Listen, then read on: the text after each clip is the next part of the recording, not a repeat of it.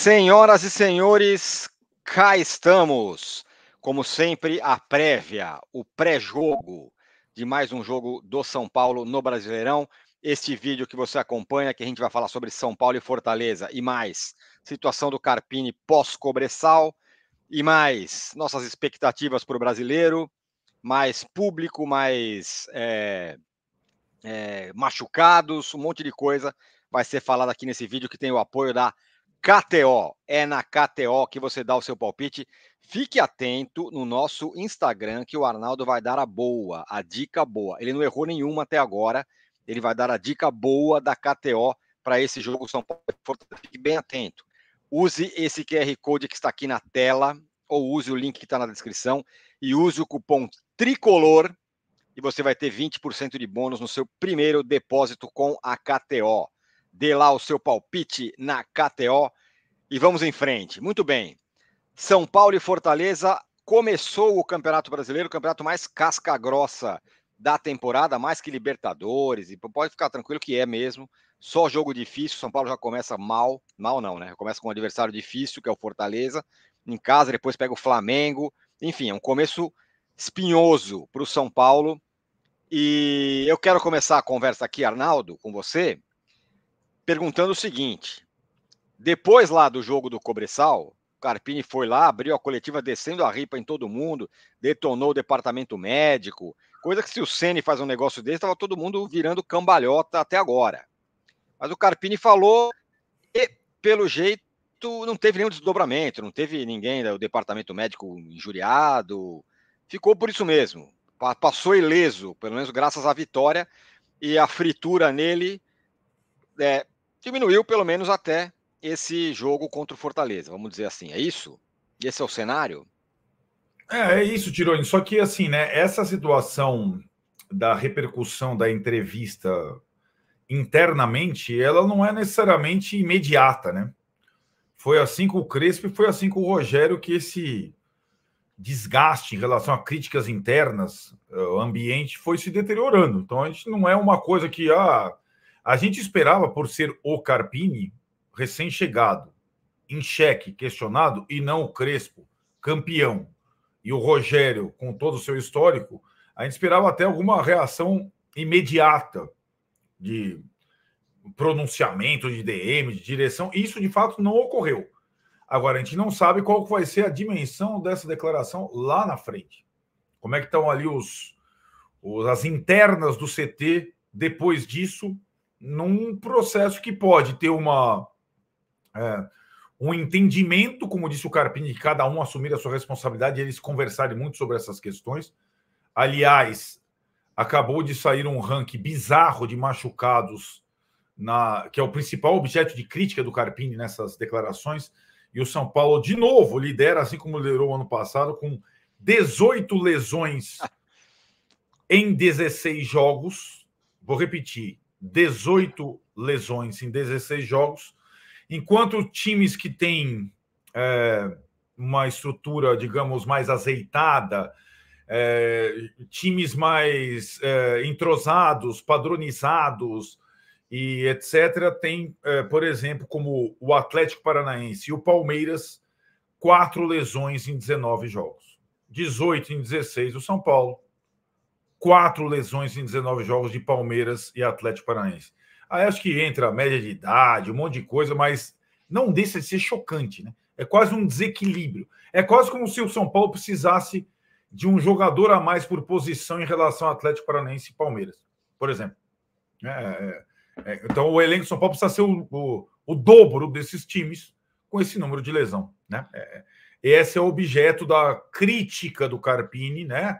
Interna até porque é, ele disse que por conta das lesões em excesso, ele não tem conseguido botar um padrão de jogo no time, que é uma discussão relativa. Eu acho que não é só isso, mas essa é a, é a principal fagulha né, entre Carpini e o, o departamento de fisiologia médico do, do São Paulo até então.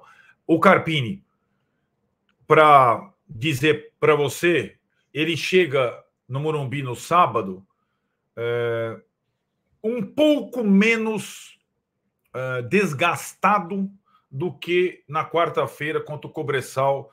Isso se deve a, principalmente ao resultado e ao apoio da torcida organizada do São Paulo, da cúpula ainda do São Paulo e principalmente dos líderes do elenco do São Paulo, como Lucas, Rafinha e Caleri, etc.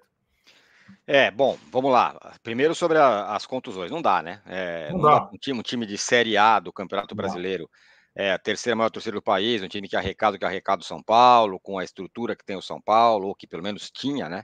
Não sei o que aconteceu lá dentro, se caiu uma bomba, se, se, se tudo se destruiu ao longo do tempo.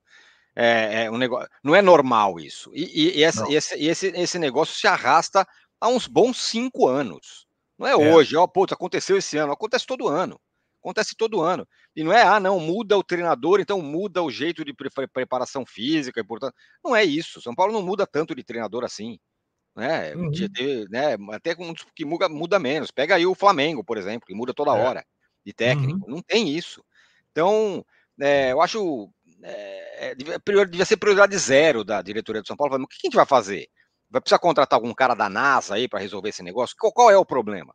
Por que, que o São Paulo, até, o, até o 10 anos atrás, se falava, não, porque aqui a estrutura, que os caras iam do exterior para se tratar no São Paulo, e hoje em dia essa, esse açougue, né? Uhum. E, e, parece que tá que, que, tudo bem, né? Que ninguém. Sempre tem uma coisa meio um floreado, não, agora contratando, agora diminuiu o tempo de recuperação em um dia e não sei o quê. Não, tem 18 caras machucados, não tem condição. Nesse ponto, uhum. o Carpini tem toda a razão na bronca dele. O uhum. trabalho dele pode ser ruim, como é. Mas nisso ele tem razão. Sim. Como o Rogério tinha razão quando, quando, quando acontecia com, com o Rogério também. É, é o que eu acho. É ponto. Ah, perfeito. E acho que o Carpini lembra é, na entrevista desse histórico. Sim. Né, lá atrás. Eu acho que o São Paulo teve dois períodos recentes de menos incidência de lesões é, em um período um pouco mais brando. O período do Diniz e o período do, do Dorival. Dorival. Sim. Talvez pelo método de trabalho, estilo de jogo também. Mas eu acho assim, não é possível, como disse o Carpini, que um técnico que queira jogar numa intensidade maior, num nível de competição maior, é, não possa fazer isso porque os jogadores definham no São Paulo, né? Eu acho que tem uma discussão aí. É, tem uma discussão. É, só para é, fazer uma comparação, é, no, no, vamos, vamos, considerar que o Palmeiras não é um time exatamente que joga, que joga numa intensidade baixa. Muito não, pelo contrário. Nem o Atlético Paranaense. Nem o Atlético Paranaense, muito pelo contrário. É uma, é uma é. correria, uma intensidade muito forte, são os que têm menos, menos é. condições. Ah, não, mas o Abel está aí há muito tempo. Ok, o Cuca não. O Cuca chegou isso, ontem. Isso. Né? O, o, uma coisa que me chamou a atenção nesse ranking nefasto é que o segundo colocado é o Fluminense, do Diniz. Do Diniz. Mas aí acho que tem é, um asterisco, né? É o time que voltou depois, foi disputar o Mundial, teve a menor pré-temporada e contratou muito jogador veterano. Assim Sim. como o São Paulo também aumentou essa média de idade, que é uma discussão. É, o Luiz Gustavo foi o jogador mais velho contratado, está há meses no DM. Né? É. Tem essa situação toda para ponderar. Né? Esse negócio tem que ser explicado, não é, assim, não é, é. normal assim. Os é. casais, alguém tinha que chegar e falar: Ó, aconteceu isso, ou estão melhorando, vamos investir toda a grana do Beraldo a gente vai investir em equipamento, sei lá, o que é. quer que seja, mas é, é, muito, muito ruim. Esse, esse, esse é um ponto. Bom, vamos ao, à escalação. É, isso a provável escalação. Influencia na escalação que é, vai por... campo contra o Fortaleza. Porque né, com menos 18, não são 18 agora, é desde o início, né? menos 7 que seja. O, Pini deu uma forçada, porque ele incluiu também nos, na, na ah, é, Young, né? É, jogadores da base, o Negruti, o Ibali, calma, né? um pouco demais, né?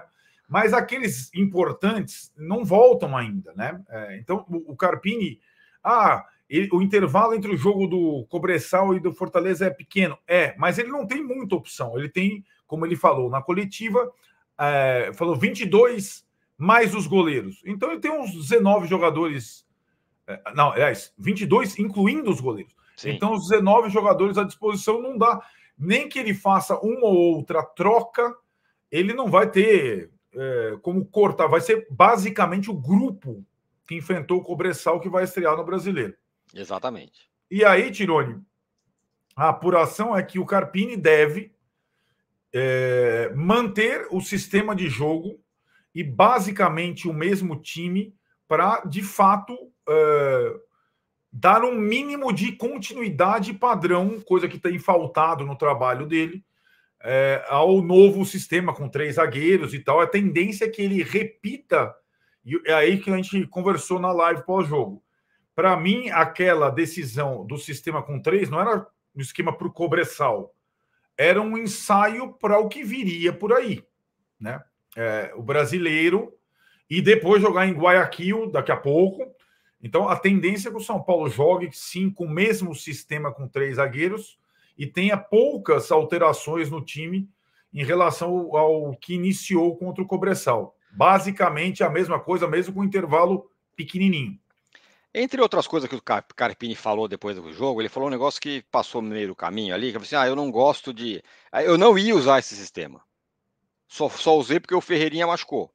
Ou, ou as outras contusões. Porque eu não gosto, eu gosto da repetição, eu acredito na repetição. Tem esse ponto também, né? Na verdade, ele não gostaria de usar os três zagueiros. Vai usar. Não, por... Então, isso foi, eh, na verdade, isso foi perguntado três vezes. Ele não respondeu muito bem, porque ele falou: ah, eu treinei com o Ferreirinha na linha de quatro e a minha apuração é que ele treinou com o Ferreirinha de ala no lugar do Michel Araújo. No sistema com três zagueiros. Sim. Então ele mesmo se explicou mal.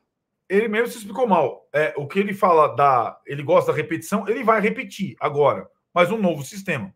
Talvez não seja o preferido dele, linha de três, mas com um monte de desfalque, sobretudo na frente, ele vai repetir a linha de três para tentar dar um, um, um, jeito nela, porque, na verdade, é, o, o, que, a, o que foi apresentado contra o Bressal foi muito bagunçado. É, uma ou outra coisa deu para tirar, mas muita bagunça, pouco entrosamento, pouca solução.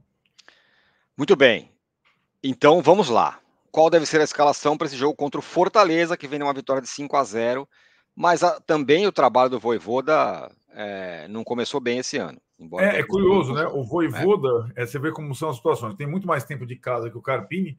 É um treinador que gosta de trocar o time é, em todas as partidas, não gosta de repetir, adaptar o adversário, mas estava mal. Aí ganhou pela Sul-Americana é, de goleada no meio de semana e decidiu é, em princípio, manter o time é, para o jogo com São Paulo.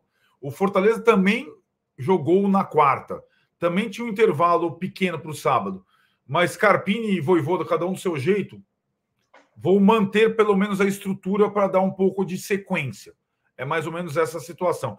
É, assim, a questão do São Paulo são o que não deve acontecer em relação ao time que jogou contra o Cobressal é o Ramos começar jogando, porque o Ramos não tem condição no intervalo pequeno de começar duas partidas seguidas. O tempo de recuperação dele é longo normalmente. O dia seguinte dele é tipo do Renato Augusto, o cara quase não aguenta. Uhum. Ele jogou 90 minutos pela primeira vez. Então o Rames não deve começar, mas deve ser relacionado porque não tem muita outra opção. Deve ficar no banco. É, possivelmente jogue o Galopo no lugar dele, na função que o Galopo mais gosta de jogar, né, Tirão? Então, é, a, a, são, são duas alternativas à ausência do Rames de início. O Galo para ficar muito parecido com o que foi o time de quarta, ou entrar o André Silva e o São Paulo jogar com 3-4-3, como jogou contra o Palmeiras. Né? Certo. Em vez de jogar com um meia, jogar com mais um atacante. Contra o Palmeiras jogaram Lucas Caleri, não, Caleri não, desculpa, Lucas é, Luciano e Ferreirinha. Jogaram três na frente e três zagueiros, linha de quatro no meio. Poderia ser uma linha de frente, dessa vez diferente. Luciano, Caleri e André. Mas aí são três centroavantes, né? Com Lucas e Ferreirinha você tem a mobilidade. Então uhum. eu não acredito que ele coloque os três no início, na frente. Acredito que ele componha com o Galopo no meio, na função que ele, sei lá, mais é, se adapta. Mas aí tem outro nome importante para debater se joga ou não. É... Que o André, o André fez o gol, né? Isso. Entrou bem e fez o gol. É. Se o Luciano joga ou o André, se ele mantiver é, a estrutura do, do 3-5-2. É, eu é acho André que... e Caleri ou é Luciano e Caleri? Ah, eu acho que até pela questão. É, qual que é um dos sustentáculos dele? É o grupo. É o grupo, exatamente. O Luciano, é, o Ramos já não vai começar. O Luciano saiu no jogo contra o... O Luciano é quem vai para o banco toda a partida e tal. A minha impressão é que o Luciano comece com o Caleri e o André saiu opção para o segundo tempo. De novo. E a outra questão é o Wellington ou o Michel. Jogo em casa é, e tal. É. Então, aí que tá. Eu acho que isso foi o que menos funcionou. Eu também acho. E, e mas a, a, tendência é o Michel ser repetido na esquerda, até para ganhar um pouco de traquejo ali. Mas eu não gosto. Eu, não eu gosto. também não. Eu também não. Muito bem. Qual foi a, a sua lista de machucados? Tem quantos caras, então?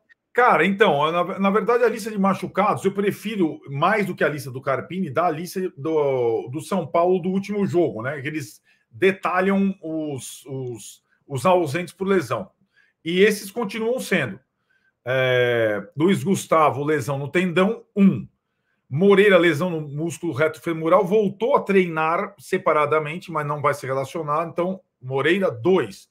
Patrick, lateral esquerdo, voltou a treinar, mas também não vai ser relacionado ainda. Lesão muscular no quadril. Aí os mais graves, Rafinha, 4, uh, fratura na fíbula. Lucas, 5, lesão na posterior da coxa esquerda. Rato, 6, lesão da sindesmose no tornozelo esquerdo. Ferreirinha, 7, lesão no músculo adutor da, da esquerda. De qualquer jeito, 7, se você pegar quem tem 7 lesionados nessa rodada do brasileiro, só o São Paulo. Sim. Na primeira rodada. entendeu? Não Cara, são 18. Para começar a brincadeira. Mas são 7 lesionados. Pois é. Ainda assim, tem elenco. Mas é uma coisa. Nem começou a temporada para valer, né? Nossa Senhora. É não, absurdo. Aquela história, né? Vai, vai dando. Isso vai dando algum álibi é. para o trabalho, se o trabalho não funciona. Né? É mais ou menos como aconteceu com o Rogério. Mesma coisa. Exatamente. É, e o público vai no jogo ou não? Então, eu, essa é foi uma grande discussão aqui, viu, Tirone? Porque o São Paulo é, na semana deu show no Morumbi de público e renda, e Corinthians e Palmeiras decepcionaram é muito em Sim. público e renda. É, dessa vez, eu acho que o São Paulo poderia. E conversei hoje lá com o Casares de manhã, e ele me disse basicamente, troca de mensagens aqui sobre a questão de ingressos, que o ticket médio do São Paulo está mais ou menos no limite para o brasileiro, não daria para baixar mais na visão dele, eu acho que daria. Então, a venda antecipada é, de 25 mil, a expectativa de 30, 35, que eu acho um bom número, mas que com a, o ajuste, o São Paulo poderia ter no brasileiro de pontos corridos 40 mil. É. É, 30 mil eu acho mínimo para brasileiro. É... Vendeu 25 mil? Para o padrão é. São Paulino dos últimos tempos é um pouco baixo até. É, sim, é, é, é mais baixo do que eu estava sendo no Paulista, por exemplo, né? É isso. Mas o Paulista tinha poucas situações de dois jogos no estádio com intervalo de três dias, que é o caso agora, né? São é. Paulo acabou de jogar, né? E, e então eu, é, é possível é, que assim, a expectativa é de 35 mil pessoas é, de, de público na estreia do campeonato. É, podia ser mais, né? Podia ser mais. Mas é... eu acho que aí. Um é, uma, coisa, uma, coisa, que não está não tá, é, como vou dizer, detectada aí ainda é uh, o, a relação da torcida com o time, né? Não se sabe o quanto, o, o qual é a relação da torcida, se, se essa relação está se esgarçando. Com o treinador está claro. Não, né? não. Cara, o a catarse da Libertadores. Você precisa ver o que aconteceu na quarta-feira, cara, entre público e time. O que a gente viu a rede social aqui no Murumbi foi uma loucura, velho. É, assim como foi no Paulista, tá? eu acho que essa questão vai um pouco além, né? É, e acho que essa situação do brasileiro ela vai muito também de encontro com como o time está encarando o brasileiro há anos, com técnicos ah, diferentes, com direção diferente como se o São Paulo já entrasse no campeonato só para figurar, certo? Exatamente, exatamente. Né? Então, você sempre fala isso, né? Aliás, a gente vai falar, vai dar, a gente vai dar nossos, nossas palpites isso. sobre favoritos e tal, já já. Segure aí. Faça o seu palpite na KTO, usando esse QR Code que está na, na, tela, usando o link que está na descrição. Arbitragem, quem, é, quem apita o jogo? Putz, é, são vários novatos na primeira rodada do Brasil. Você adora, hein? Eu odeio. É, o, o jogo é, São Paulo e Fortaleza será a arbitragem de Alex Gomes Stefano, do Rio de Janeiro, que não passou nem na, perto de apitar jogos. É, decisivo no Campeonato Estadual do Rio, para você ter uma ideia, tá? Pra você ter uma o, ideia. O São Paulo, para variar, é tipo uma cobaia de uns técnicos Isso. novatos, né? É impressionante, o, né? O VAR é o Pablo Ramon Pinheiro do Rio Grande do Norte. Então, é uma, é uma espécie de cobaia.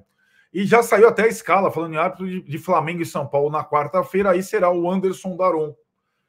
Na quarta, Flamengo e São Paulo, mais a ver com o jogo, enfim. Perfeito.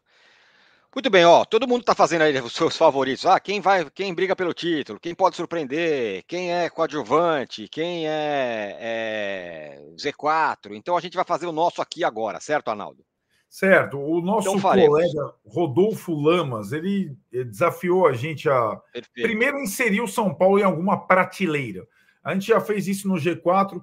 Ele falou para a gente se inspirar no guia do Brasileirão do GE, do Globo.com, que tem quatro categorias, quatro prateleiras. Candidato ao título, pode surpreender, candidato a coadjuvante ou risco de Z4. Primeiro, Tirone, onde São Paulo se encaixa para você nessas quatro categorias? Não, vamos deixar o São Paulo por último. Por último, então tá. Vamos deixar o São Paulo por último. Candidato ao título. Para mim, Palmeiras e Flamengo. Só. Eu coloco o Galo também, eu coloco uma, uma terceira via. Para mim, Palmeiras e Flamengo, estamos vivendo uma como era sempre. espanhola no futebol brasileiro e que, como vocês sabem, eu acho que vai durar por muitos e muitos anos. Espero estar vivo quando isso mudar.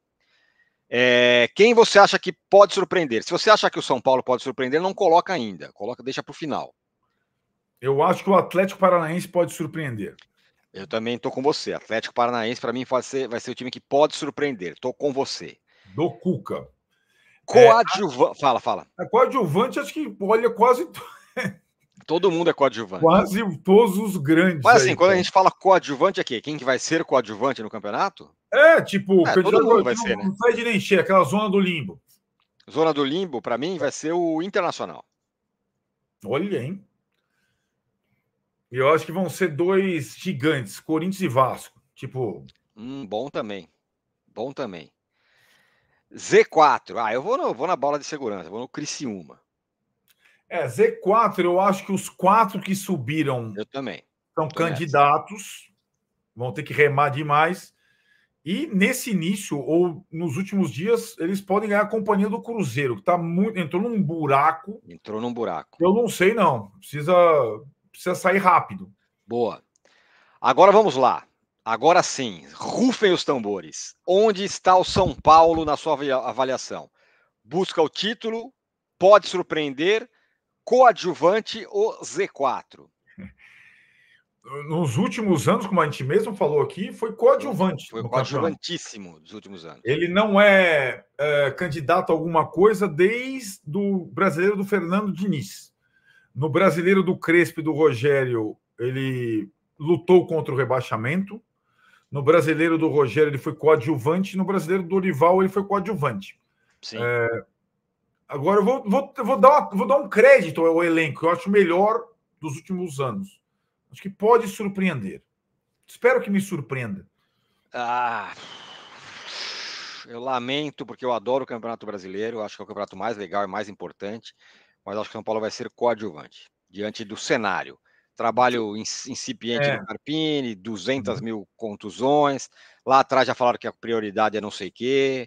É um começo de campeonato complicado com adversários difíceis e dar essa, essa, essa largada não funciona, já para mim já, já fica ruim. É, Fala. Eu acho que pode surpreender, depende da sua expectativa, né? Para mim, se pode surpreender se chegar na zona da Libertadores, para mim tá bom. Isso para ah, mim seria. Ah, pode não, mas isso, isso, isso, eu, isso tô, era... eu, não, é. eu tô falando, entendeu? Eu não tô falando pode surpreender e ganhar o campeonato. Isso eu não acredito. Eu, eu, eu, o, meu, o meu, só para deixar claro, o meu pode surpreender é se classificar a Libertadores como fez com o Diniz lá atrás, por exemplo. Então dá para a gente finalizar esse vídeo fazendo a seguinte pergunta. O que a gente acha que vai acontecer é isso. Você acha que pode surpreender? Eu acho que vai ser coadjuvante. Mas se você olhar o elenco do São Paulo a todo vapor, com todo mundo lá e tudo mais, o que, o que era o que era possível esperar? É. Essa é a pergunta. É, Aí eu é. acho que era possível esperar G4. É, é. é, é isso o G6, acho. pelo menos. O G6, pelo menos. Entre os seis primeiros. É. Mas eu não, não boto muita fé, não. Quero saber de vocês aí, rapaziada. Mandem aí os seus comentários. Você acha que o São Paulo está em que pote? Do título, do pode surpreender, do coadjuvante ou do Z4. Certo, Arnaldo? É isso, meus caros. Lembrando, hein? Live aqui pós São Paulo e Fortaleza, dessa vez direto do Murumbis. Eu estarei lá com a minha filha Madalena e suas amigas. A gente tem que dar aquela bolada. Tirone vai madrugar de novo, você vai estar no aeroporto. Eu vou mas... estar indo para o aeroporto. Vai Ó. fazer no, no, no, no caminho? Não, fazer do hotel ainda. Vou fazer do hotel ainda. Mas ainda vai dar tempo. Dá tempo. Então, a partir das 11 da noite, horário de Brasília, para o Tirone, mais 5 horas, é isso, Tirone? 4 da manhã, bonito. Isso mesmo. 4 da manhã, horário francês do Tirone. 11 da noite, horário brasileiro. Live pós São Paulo e Fortaleza, primeiro jogo do Brasileirão. É nós. Valeu.